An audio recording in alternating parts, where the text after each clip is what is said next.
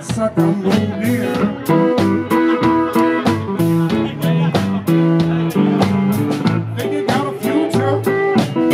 I swear Your chances definitely slim. Be careful what you ask for. You might be seen. I swear that look got something right up his sleeve. Nothing wrong with solar.